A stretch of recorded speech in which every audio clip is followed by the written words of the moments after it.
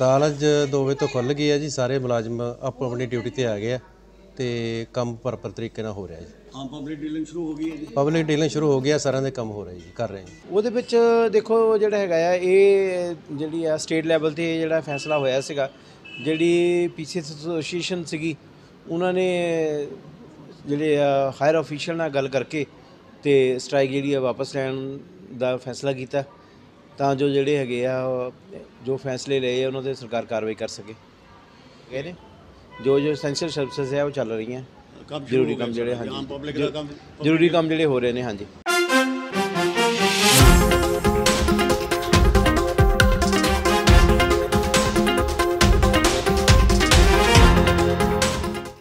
ਹੜਤਾਲ ਅੱਜ 2 ਵਜੇ ਤੋਂ ਖੁੱਲ ਗਈ ਹੈ ਜੀ। ਸਾਰੇ ਮੁਲਾਜ਼ਮ ਆਪੋ ਆਪਣੀ ਡਿਊਟੀ ਤੇ ਆ ਗਏ ਆ।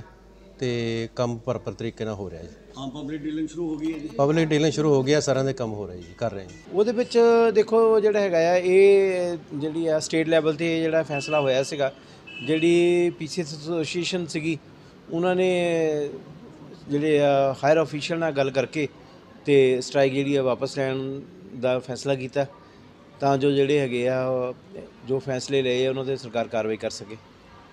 ਨੇ ਜੋ ਜੋ ਐਸੈਂਸ਼ੀਅਲ ਸਰਵਿਸਿਜ਼ ਹੈ ਉਹ ਚੱਲ ਰਹੀਆਂ। ਕੰਮ ਸ਼ੁਰੂ ਜ਼ਰੂਰੀ ਹੋ ਗਿਆ ਕੰਮ ਜਿਹੜੇ ਹਾਂਜੀ। ਆਮ ਪਬਲਿਕ ਦਾ ਕੰਮ ਜ਼ਰੂਰੀ ਕੰਮ ਜਿਹੜੇ ਹੋ ਰਹੇ ਨੇ ਹਾਂਜੀ।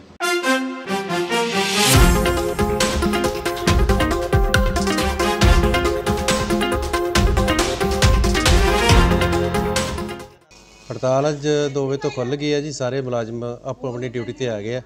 ਤੇ ਕੰਮ ਪ੍ਰੋਪਰ ਤਰੀਕੇ ਨਾਲ ਹੋ ਰਿਹਾ ਜੀ। ਆਮ ਪਬਲਿਕ ਡੀਲਿੰਗ ਸ਼ੁਰੂ ਹੋ ਗਈ ਹੈ ਜੀ। ਪਬਲਿਕ ਡੀਲਿੰਗ ਸ਼ੁਰੂ ਹੋ ਗਿਆ ਸਾਰਿਆਂ ਦੇ ਕੰਮ ਹੋ ਰਿਹਾ ਜੀ ਕਰ ਰਹੇ ਜੀ। ਉਹਦੇ ਵਿੱਚ ਦੇਖੋ ਜਿਹੜਾ ਹੈਗਾ ਆ ਇਹ ਜਿਹੜੀ ਆ ਸਟੇਟ ਲੈਵਲ ਤੇ ਜਿਹੜਾ ਫੈਸਲਾ ਹੋਇਆ ਸੀਗਾ ਜਿਹੜੀ ਪੀਸੀਐਸ ਐਸੋਸੀਏਸ਼ਨ ਸੀਗੀ ਉਹਨਾਂ ਨੇ ਜਿਹੜੇ ਆ ਹਾਇਰ ਅਫੀਸ਼ੀਅਲ ਨਾਲ ਗੱਲ ਕਰਕੇ ਤੇ ਸਟ੍ਰਾਈਕ ਜਿਹੜੀ ਆ ਵਾਪਸ ਲੈਣ ਦਾ ਫੈਸਲਾ ਕੀਤਾ ਤਾਂ ਜੋ ਜਿਹੜੇ ਹੈਗੇ ਆ ਜੋ ਫੈਸਲੇ ਲਏ ਉਹਨਾਂ ਤੇ ਸਰਕਾਰ ਕਾਰਵਾਈ ਕਰ ਸਕੇ।